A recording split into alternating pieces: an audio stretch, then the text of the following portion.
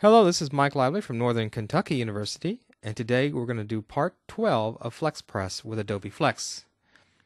And we're going to deal with the tile list component, and we're actually going to make a custom tile list component. So here's the ABCs of tile list. And A, the tile list lays out items row by row and can make objects interactive like a list or combo box. Why not use a repeater instead of a tile list? The repeater component is best used when the amount of content fills a single display screen. The repeater generates all visual controls in the flash player memory, even those off the screen, so it's bad for large data sets. See? The tile list only generates what you see. As you scroll, it generates the objects. In addition, with the tile list, you can move over objects and select them. And there's also a horizontal list. Now we're going to deal with states and create a navigation system in this tutorial. So you need to go to my YouTube tutorials part 1 through 5 on building over the Rhine website in Adobe Flex and there I discuss how to create a state navigational system. We're going to use that in this tutorial without not much discussion on how to create it. So last time we had created a custom list box component and it had an image, a title, and a date. And now we're going to create a custom tile list component. Let me show you how to do that. Let's get out of this. And we're going to go to our components uh, folder and create a new component. And go to new and MXML component. And we're going to call that component my tile list component. Not very creative here, just a name that we can remember. And now let's give it some dimensions. And the dimensions I'm giving it are just basically found by trial and error and working and resizing the application so it looks right. So we'll make it 250 by 200. Cool. And we'll click Finish. And so now in our components folder, we have a my tile list component and we have generated some code right here. And as we did before, we want to turn off the scroll policy because automatically these scroll bars are spawned and we won't, we don't want that to happen. I've actually brought the uh, label down a little bit to give us some room. And as you recall last time, we want to go vertical Let's get some code hinting here. Scroll policy and set that to false or off. And horizontal scroll policy and set that to off as well. So we're good with our scroll policy. And what we want to do now is put in a label and a text area component. So what we can do is go back to the original code. Let's do that real quick. My thumbnail. Let's go to design view this post right here has two labels and a text area and I actually want to bring that over to my uh, tile list component so I'm just going to copy these. And bring go back to my tile list component I'm going to paste those in.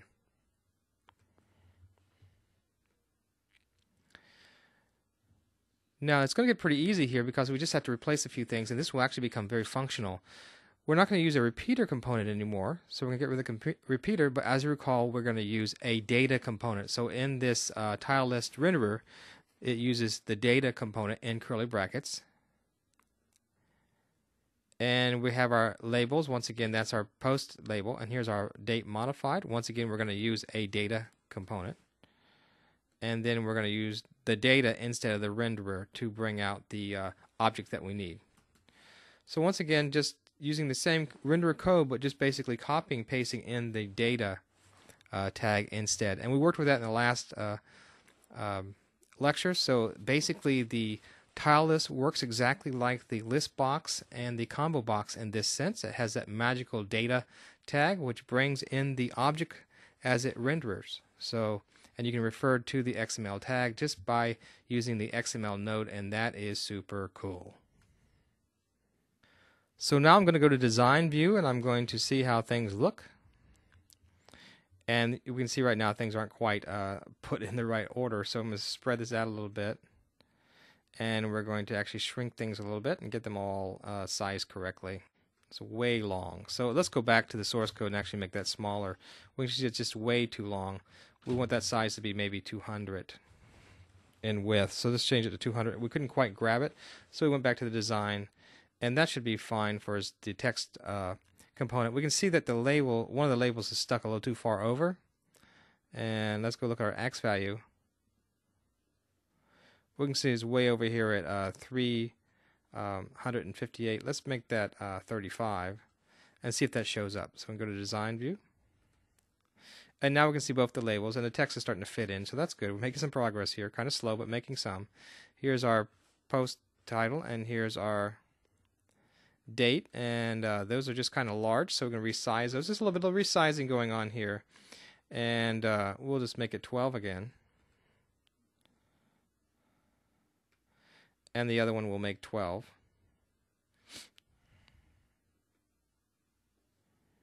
and now we can fit them both in there. Now a little bit of time taken here, but what I want you to see that I'm doing is I'm going back and forth between design and source view, and you need them both to really uh, put together a great project. So I'm just going to leave that like that, and we're out, now we're going to bring this and instantiate this in the main code. Alright, I'm back in flexmythumbnail.mxml and I want to actually create a navigation system.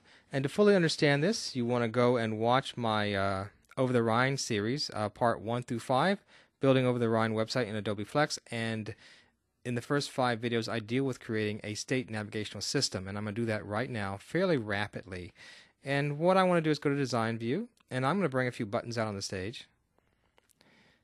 And let's do that right now.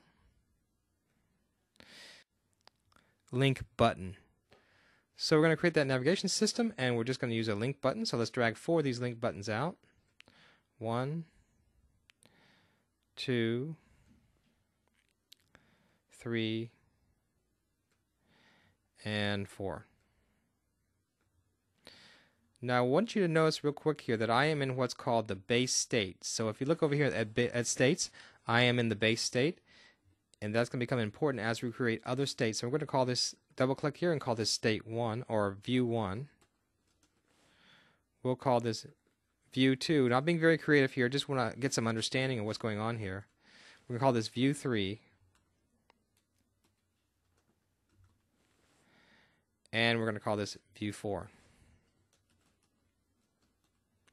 And so when I click on these buttons, I'm going to go to different states. So I'm actually now going to generate the states I'm going to go to. So I'm going to right click on the base state and go new state. And we'll call this view 1. And I'm going to set that as my start state. I'm going to create another state. I'm going to call it view 2.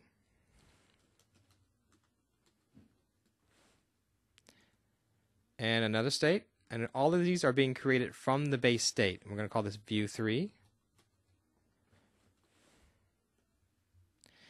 and another state, we'll call this view 4.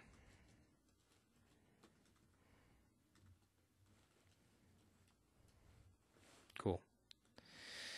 And I want to go back to the base state, and I'm going to set my navigation system, and I'm going to come over here in the Flex Properties, roll over the category view and click on that. And I can see I'm going to go to stay in the base state, I'm going to click on that button View 1, and there's an Events, tab, and one of the events tab is click. So I want to click and go to current state. Whenever I click on that button, the current state I want that to equal. And you must use single quotes here. View 1. So when I click on that, it takes me to view 1. Okay, let's go to view 2 and go to the click event. And I want my current state, whenever I click on that, I want to go to put single quotes, view 2, and it has to be exactly spelled as the state name. Let's go to the next one and double click on that, and that current state needs to equal, and put single quotes, view 3, spelled exactly the same. And finally, we're in uh, the last state double click on that and that current state needs to be equal to single quotes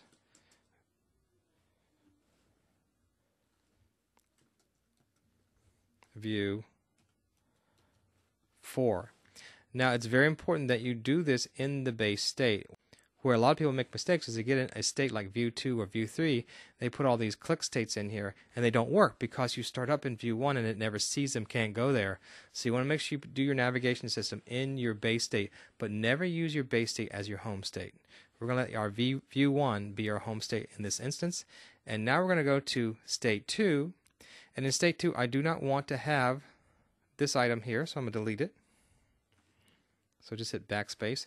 And I don't need the list box either, so I'm going to delete it as well. So let's test this and see if we go to state 2 and there should not be anything there but the navigation menu. And then we should be able to go back to state 1. So let's control test.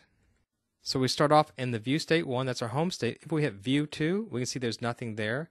View 3, we do have the uh, content back. View 2, there's nothing there. And view 1 takes us back to the initial state. What we want to do now is put some content in view 2, and that will be our tile list component.